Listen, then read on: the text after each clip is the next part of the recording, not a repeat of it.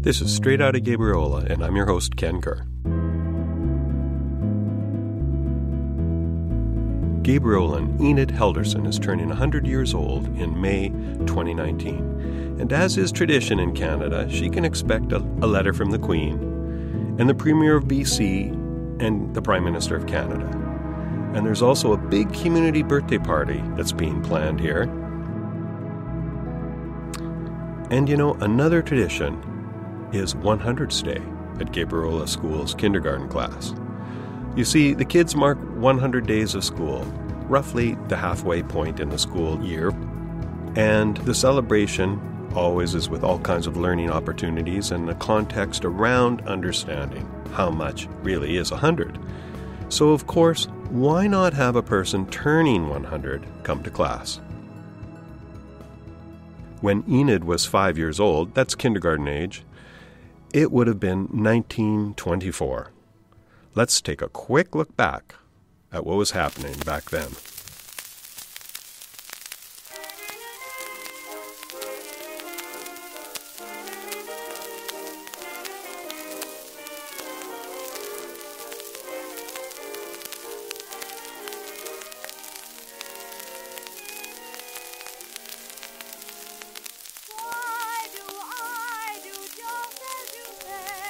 Now, these scratchy old 78 RPM shellac records you're hearing. Sounds like actually someone is frying up a pan of bacon in the background. This is It Had to Be You by Isham Jones and his orchestra featuring Marion Harris. It was one of the top songs of the year for mail order sheet music and record purchase to play on your gramophone player, if you had one. You wouldn't be hearing it on the radio just yet because popular broadcast radio shows and, and radios as an appliance in the household were not common for another seven or eight years. And the first household electrical appliances like toasters and irons were rare and expensive. Population of Canada was 9 million and the world population was 1.9 billion. A few more notches on the timeline astronomer Edwin Hubble announces that the spiral nebula Andromeda is in fact a galaxy, and so the world first learns that the Milky Way is not all there is in the universe.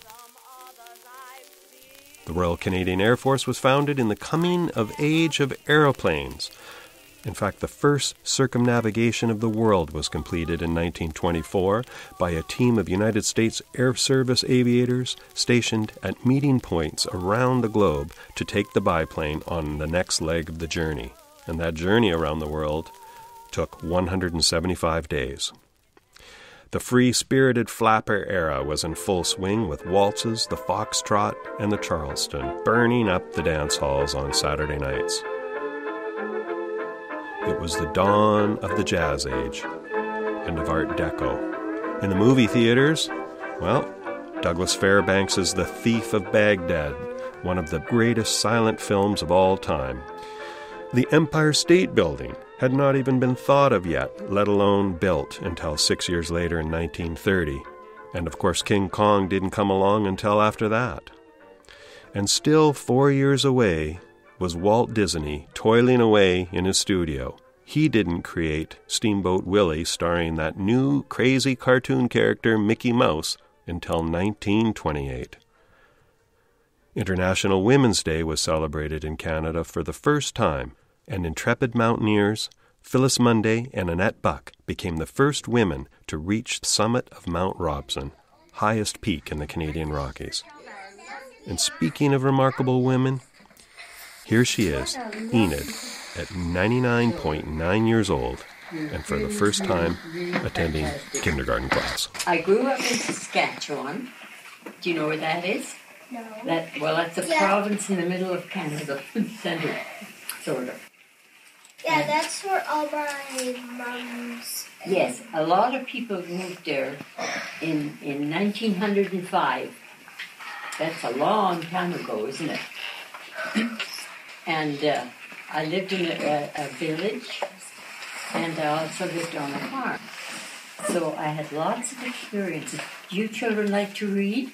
Yeah. Yeah. Well, down the road from where I lived was was a very nice lady who had uh, the, our, our house, our, our village was so small, but we didn't have a library or anything like that. We had uh, lots of books, and I was a little girl just like you, and I went to visit her, and she said to me, Enid, you can take any books you like from my library and you can read them. I, I used to go to her place and I'd pick up books. And I had four brothers, so I, I used to come home with five books because they liked reading too. And I also thought, if I only take one book, they're going to read all the books and I'm going to sit there nothing. We used to all exchange the books, go back, and another five books. So we did a lot of reading when we were children because often we sort of isolated on the farm and uh, very, uh, very nice to be able to read. And I know that you like to read here too. And I always think how lucky you are to have such a lovely library here in the village, I guess you call it. When I was a little girl, you, you might see a car maybe once in three months or something because the cars weren't really made very by that time. They came after. So uh, we had horses and we had carriages and we had in the wintertime we had sleighs. We'd go out and the horses would be trotting in front of us and we'd be driving. We'd be, we'd be in the sleigh and it was fun, lots of fun. But that's how we got around. Always just with horses until the cars came in. And when we tried to, we didn't have phones. And when they came in, at the side you had to ring it up, and then you'd have to hold a great big thing to your ear, and you'd have to speak into a speaker, and you practically shouted. But those phones were very good because when, when people were in trouble, the farms were far apart, and there'd be a big long ring on the phone. And then everybody'd pick up their receivers, they called them, and they'd listen and they'd say, Farmer Jones has a fire, and everybody'd rush to as fast as they could to try to help. Or they, or if somebody was sick, they go in and they take off their crops. You know what that is? They take cut the cut the grain and then they thresh it, and then they make bread out of it. Now, before the students launch into their rapid fire news conference style questions, here's a bit more about Enid. She's the 12th of 13 children and after growing up in Saskatchewan and completing her high school, she then trained as a secretary, going on to work for the Royal Canadian Air Force at the newly established flight school in Calgary. World War II was on the immediate horizon. Then came marriage and raising four daughters in Regina, where she continued her career as a legal secretary, while never really straying far from the local stage and radio productions, to feed her love and talent for singing and performing. Retiring from the workforce in her early 60s, she trained and went on to teach yoga at Canada's first and oldest yoga center, the Yasodhara Ashram in the East Kootenays of British Columbia. She taught there until she was in her 80s before moving to Gabriola to be with her daughter Lynette and family. Now, along with the kids in the class, that's Lynette you will hear, and of course, the kindergarten teacher, Mrs. Gurr. Full disclosure, now you know how I got the news scoop for this uh, episode. Callum has had his hand up and he's waiting patiently to ask you a question. Callum? Oh, good. I'd like to ask a question. Callum, what do you want to ask? Um, have you still been learning? Have you still been learning? Do you Oh. still learn when you're almost 100 years old? Do you know you learn every day? You learn something every day. And I have talking books, so I listen to them and I learn from them. And I, I go to a discussion group and I learn there. So every day you learn. You have to keep alert and you have to keep your mind working. That old brain of yours has to keep on working. And Leave has a question. Okay. Leave. It's over here. Yes, Lee? Are you one of the early settlers? Are you one of the early settlers? Uh, my dad was. My dad was. In 1905, came to Canada and, he, and they settled in Saskatchewan. And uh, Jacob has a question. Okay, Jacob? Do you like to play? Do you like to play? Absolutely. Every day I like to play. If anyone wants to play with me, I'll play with them. So one of one of Grandma Enid's favorite ways of playing is she sings, and she sings in a choir here on the island, and she often sings when she's knitting or uh, moving around. She loves music. Singing is one of her favorite ways to play. Sophie has her hand up. What is it like with being a hundred years old? Um, it's lovely.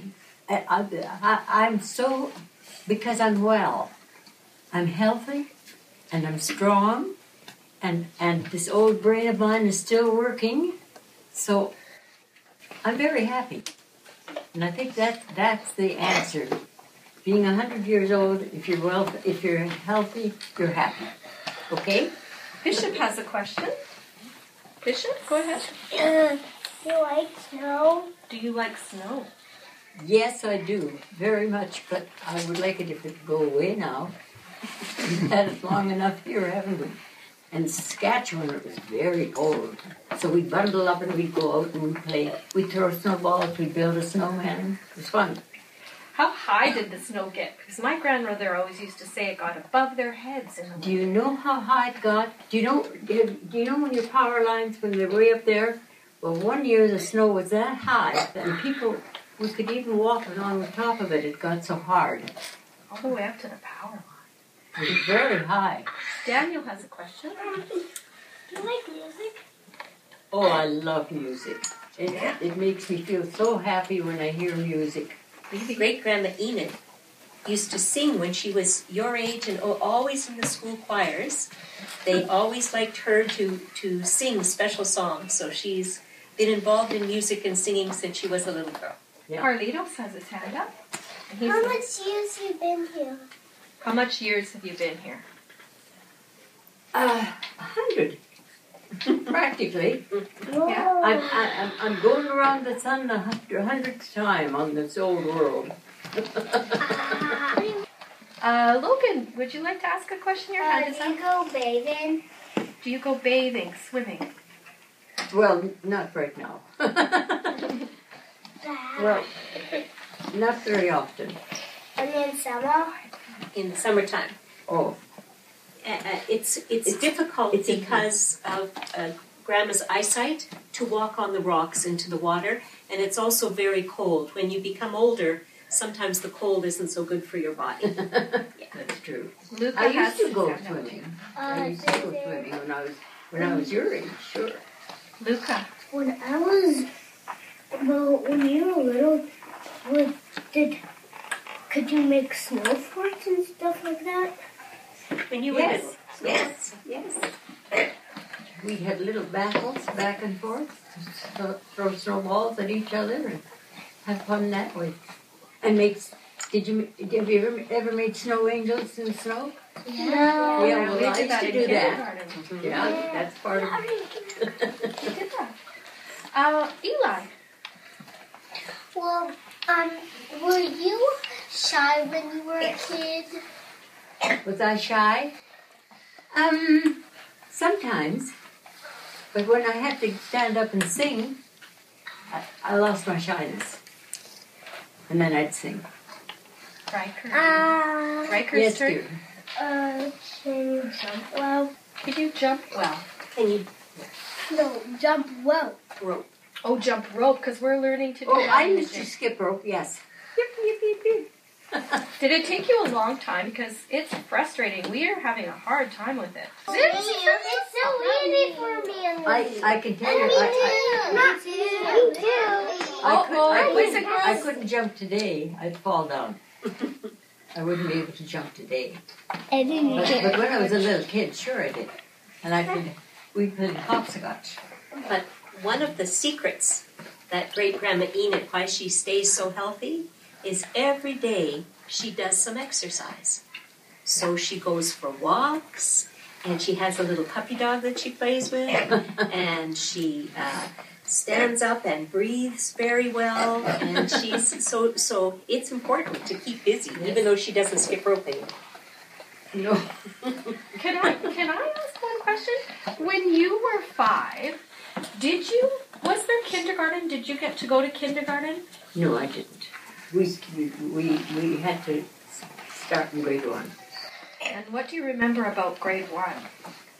I can remember I really liked the teachers.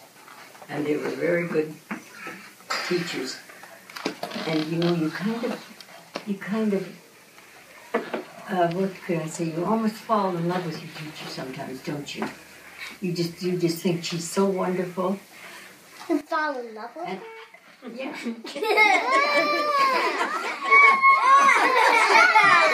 fall in love with her. But did you? Oh, oh. I to That's so kind of love when you like when you when, when you love everybody. Uh, That that kind of love.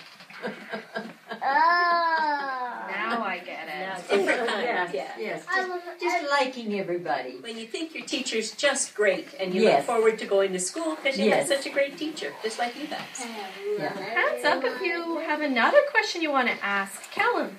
Um, uh, how did you get around when the snow was all the way up to the power line when you? Oh. Well, at, at that time, most everybody stayed at home. You know, people didn't move too fast. They, we were we were we were sort of hemmed in. You could just open your door and walk through. No, snow would get in your door. Oh. Well, they're trying to they're trying to picture in their minds how you got from your house up to the power lines when the snow was that high. No, no, no. And Uh, like you could just dig out. well, you people could could just dig it. we could could we could still walk outside. There was, it was because the snow piled up, but it didn't stop us from moving around. Yeah? Did you have to dig the snow out a bit? Oh, sure. We used to dig ourselves out of snow. Absolutely.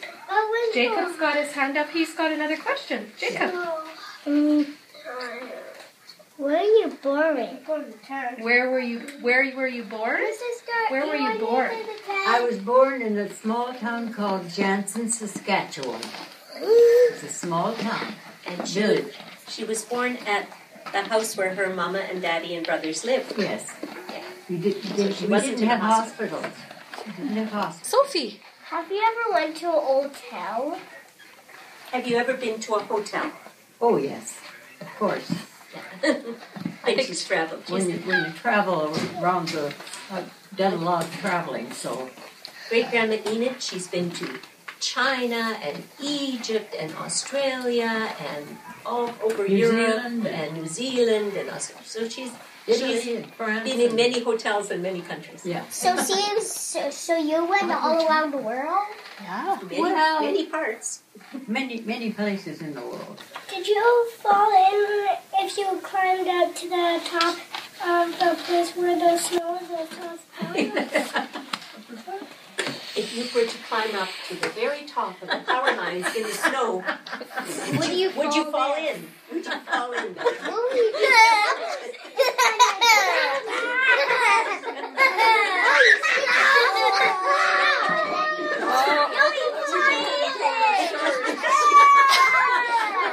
Okay, wait. I need to hear somebody else's questions. Bishop. She fell in. She was successful at climbing out again because here she is. That's good. I stayed in the house. Wesley, do you have a question? Um, did you ever go to the Amazon River? Have you ever been to the Amazon River? No, I haven't. Logan's got his hand up waiting to ask a question. Okay. Which food do you like? What foods do you like? Oh, almost everything. Vegetables. I eat uh, some meat, and I eat milk. I, I drink milk and butter, and I, I can almost eat. I'm not allergic to anything. Do you eat Aren't I bread? like Pardon? Do you eat bread? Absolutely. Daniel's hand is up again. And I like butter and jam on it sometimes. How about too. juice? Juice. Do you drink ever- juice? Yes.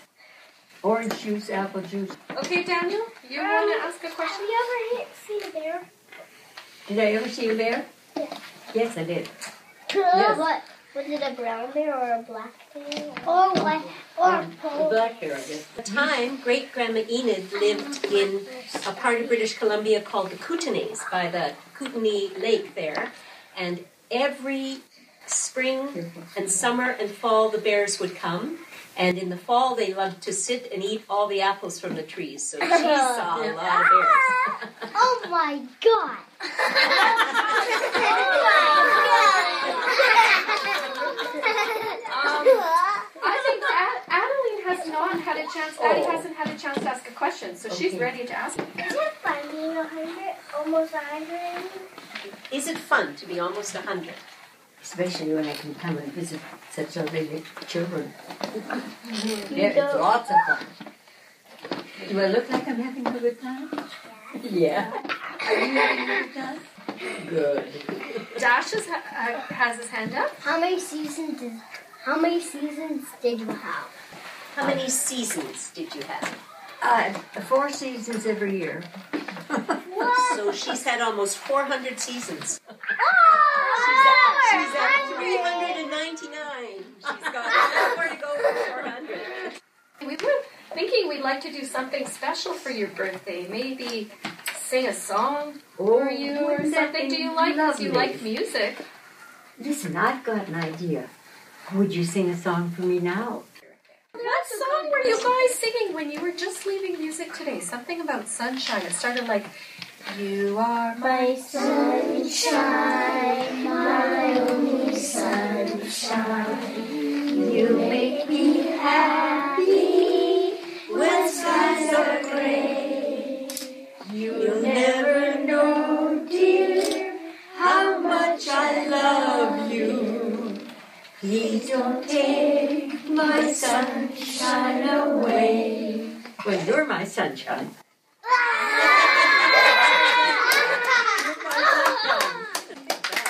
Very good. Very Well, you know what? It is time. I can't believe it. It's time for us to say goodbye to Great Grandma Enid. Bye, Enid, and get ready for recess. What happened? I had a question for you because I was thinking about what you said that about always learning. Yes. And so now all this this 99 times around the sun, do you have big lessons that you have taken with you that you say these are the golden truths that I've Well, learned about life? well, one of them is this too shall pass. No matter how difficult it is at the time, if you just hang in there, it'll pass eventually. You have to sometimes work at it, but it'll pass. And I've also learned that um, perhaps to wait a while if you hear something that, that angers you or something, and try to deal with it in a, in a kindly fashion, you know, instead of uh, getting angry just to take your time and, and let it pass, and then you can think clearly, you know. But sometimes it takes a long time to learn that, you know. yeah, even more importantly now because everyone is so quick Yes. on media Yes, to yes, yes. that it is visceral all the time. No one takes time to just stop and think. Yeah. And, and and immediately somebody says something to you that, that angers you and you back. Uh, and it doesn't help. You know, if you if you can think of things as it's their problem if they come at you with a anger and so on, and then may, perhaps you can talk it over. You know that that sort of thing. And We're all human. We all make mistakes, and that's okay. Uh, we learn by our mistakes often more than we do by when everything is always so smooth. What about your attitude to life in general? Well, my attitude is I, I, I really try to, I see my cup half full rather than half empty. You know? And uh, I've been very fortunate, I think. And I wake up every morning and I'm, I'm just happy to be here still, you know? But if, but I'm also ready to go anytime. It's, uh, it doesn't scare me or anything. And, uh, yeah, uh, just to be kind and, and, and to wait. Don't be too hasty about things. You know. Yeah.